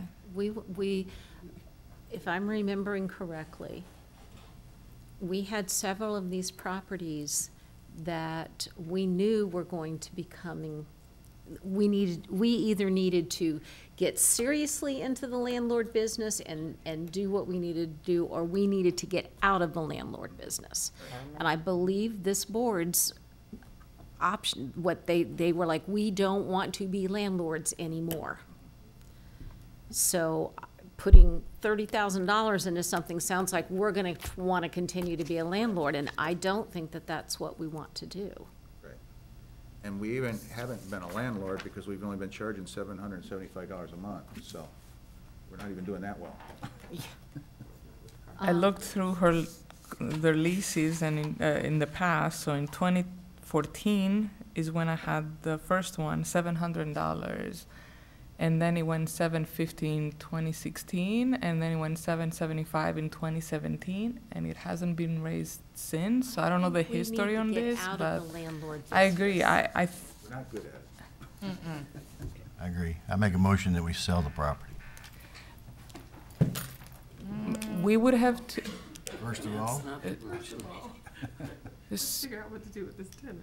I'd rather Well- see a Habitat for Humanity or something. So my recommendation would be, i- if, if, if the board wants us not to enter into an agreement, and I would need that guidance as a board, um, then, uh, Mr. Mignon, with his real estate experience, um, his next project will be to appraise the three houses, this one, the s- former substation, and the one that's across from Lincoln Village to review their condition, come back with a proposal on what is required, and then we would need to go out for any type of disposal. We have to follow state statute, advertise it, and start that process after he kind of gives you an, a presentation. But I do need guidance if I would enter into Okay, a. So do you want a motion to say that we are not interested in, in engaging in a yearly lease?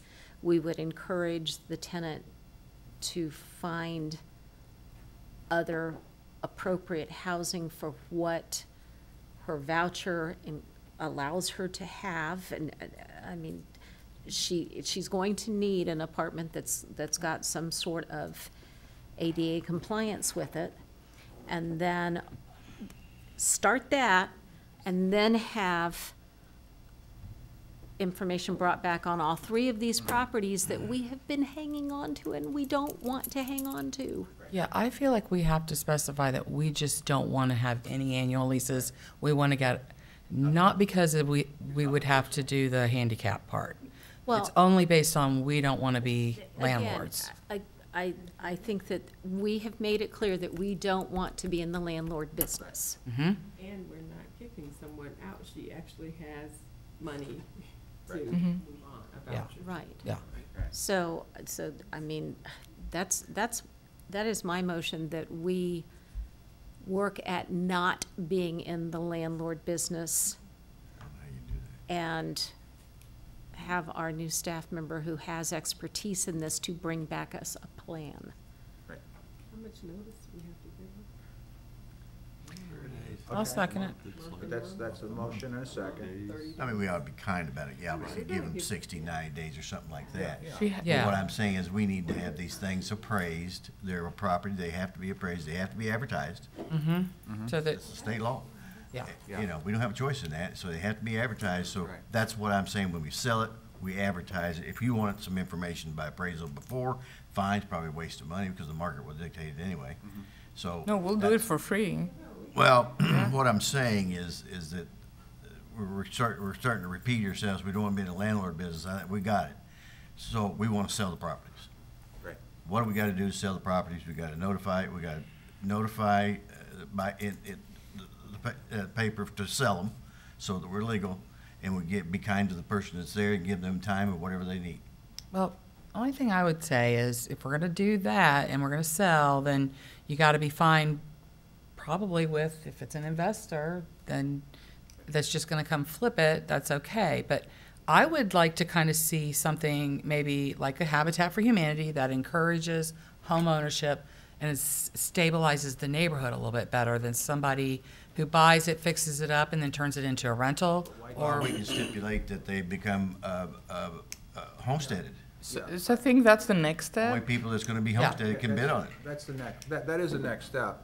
I mean, so we have a motion, a second, we're gonna vote on. But on- on, on that, because my, my thinking is, I mean, Habitat's got a mission, a- as, as we do. it doesn't have to be, ha- I just, I'm just somebody, yeah. I, I, I know, but I, because we've done stuff with them before, it's that, my thought is, okay, we have an asset, we've, we've used it, we've been, now we're gonna take it, and, and, and that we take the asset and we reallocate the money, we take the three of them, and then see if we can get an assemblage on Ninth that we're trying to, and, and go ahead and, and do something on Ninth, and then see if we can turn that over, but, but when we sell, when we put the property out for surplus property, can't we specify that this is not uh, an investment, this is not for investment purposes, where we prefer, where we want to get into, uh, can we specify that it's for a single-family? We can do, we can do Allura, we can do whatever at that point, but those are, will be the next recommendations that we will bring Pass- forward. Pass, pass a reward on to some Yeah. young family or whatever, and then, uh,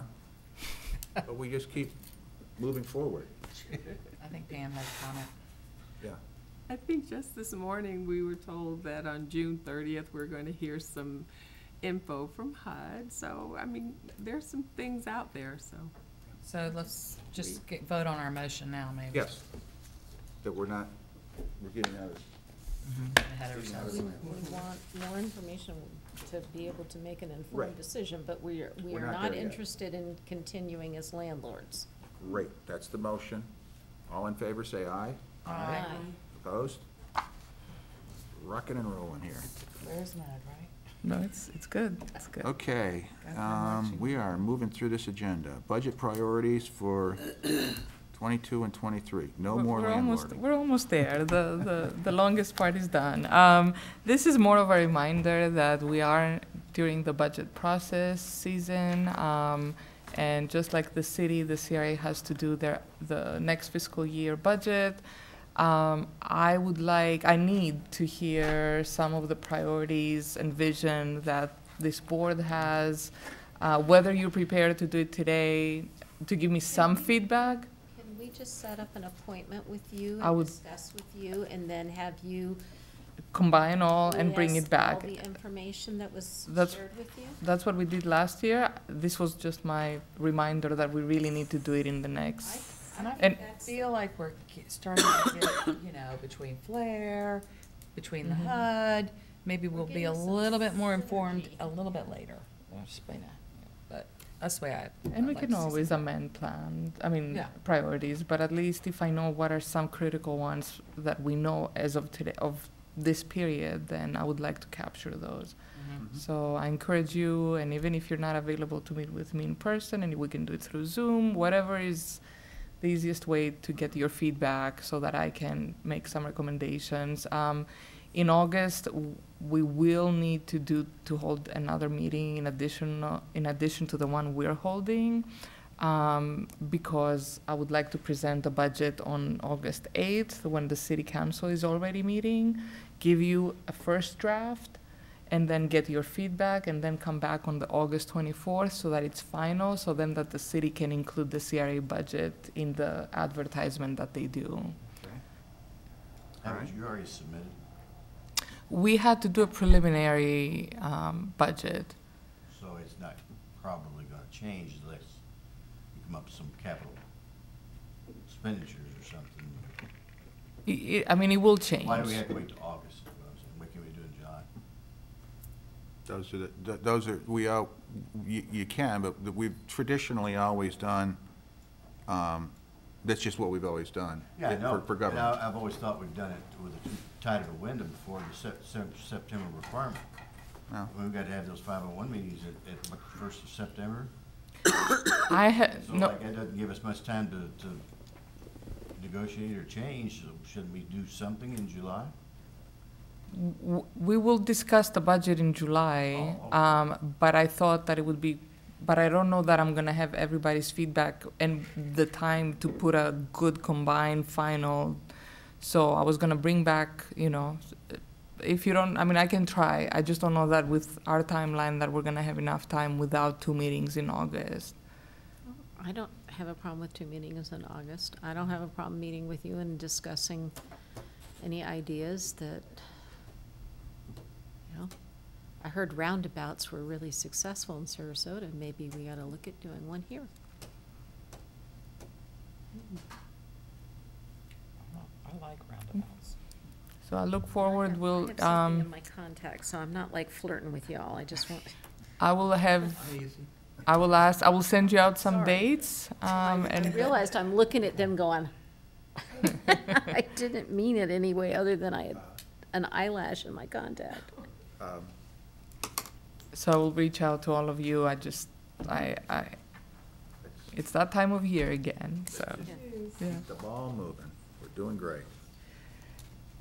And lastly, we have our, vi- I would like to request that we proceed um, immediately with visioning sessions.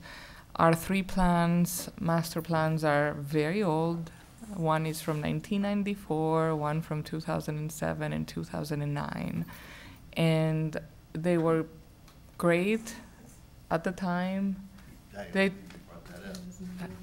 I can't believe you're bringing that up. I, I am, I, w- it's in our budget, but I really need us, I really would request that, uh, to go out for an RFP, hire a consultant, and start the process. Um, I, if, if you're all, um, I, need guidance if You you, need a motion, because I'm all in favor of it. I would like to, to know also, would you like one master plan change or three at a- the same time? Like, d- there's pros and cons for each one of those, but, um, I think we have to do them all. I'd say do them all. I, I tell you, what, so, I was always told, when, when I got involved with the, you know, Florida mm-hmm. redevelopment, you don't touch the master plan, it's, like- so, so that's just what they said at FRA. I, mm-hmm. I know, now, now, the last one, I, I talked to everyone I could, and they're like, no, that's not, that's like, well, that's what you've Well, your always master, said. your master plan is not like the Ten Commandments. Well, in the, pa- You Mary have Ann, to- in the past, they have, they have absolutely pounded on the desk that you don't do. it. I mean, I'm, I'm not making this up, that i- if you do it, it, you mm-hmm. know, you endanger everything. It's, If it's, it's not in it's, the plan, it's- you it's a- can't do it. It's a suicide note. If And you then, try to but amend now, it, then now the you FRA's changed yourself what they're problems. saying. I'm, I'm fine. I, I just wanna go with the agency. Well, I just think the vision would be different 10, 15 years ago than it Yeah. should be now. So I really think we should. Yeah, Right, I mean, right. And Well, there, what they're, what they, what fifteen, they twenty years cautioned- ago, you, people wanted payphones at gas stations. and Tropicana was number one employer. What, what FRA cautioned before was that if you touch any part of the plan, if you modify the plan, it gives the sister agency, the county, Right. the opportunity to opt out and say, we no longer want to contribute to the CRA. And they have to It's their, prove their, that their then. ex facto, it's, it's dissolved. That's, that's what they've always told us. Now, they've changed that at the, as- at the last conference, and, and I go with the. As I understand it, Palmetto has revised theirs and the county approved it. Yeah, I looked at Yeah, that. well, I, just saying that. That's So, new information. So I can So- proceed with, um, with an RFQ with a consultant for, the budget. It is in we the asked budget. For a consultant to assist us with this program and let's do it. make it happen. for all three of them. Make it so. Yes. Is that, Because I don't think it does any good to do just one Right. and another and another. I think there's some synergy between the, it's, the areas, while they have their individual strengths and weaknesses, they are all abutting each other. Right, right. And when you start talking about getting people for charrettes and stuff, Yeah. Getting three different ones as opposed to one, I, I, I- yeah, I I think we do all three. and it will be, uh, it will be more cost effective to do one with three than three different ones also. Okay. Okay, Great. I got, I got it. All right. That's it on my end. Oh, no, that's not it on my end. Just wanted um, to get your um, uh, ap- permission. I would like to apply for Leadership Manatee, and um, I would like your permission to apply. And if selected, there are certain days that I would have to attend with them. So before I apply, I just want to make Well, In sure. the past, it's always been on a Wednesday. Oh. Which one? I don't know. I, I don't know any details. I don't even know I think it's a, g- I think it would be a great thing for her to experience. Because I had people that were born here and when they did it, they said, I never knew that about our community. And I think the networking, in my position, would be very beneficial I've for the not CRAs. Here, I've been an instructor at two others. Uh, I think it was great. We, do we know what Wednesday it is, if it's the first? Oh, the it's third? once a month, I It's once a month, I know, but and is it's it on a And Wednesday. It's a long day. First Wednesday? It is a big time commitment, Third? Fourth? but I think it would be what, time well When, spent. when does it start, Katerina? Is it this, this year, Fall, next, or what? probably. It'd be in the It fall. starts in the Yeah, fall. I think it's Uh, October or so we something. might When's your change- application gonna be in? It's due this week or next week, so Okay. I just wanted, but I do need, perm- you know, your approval before I apply, so I wanted to bring it forward. We can always, I mean, we've got meetings lined up.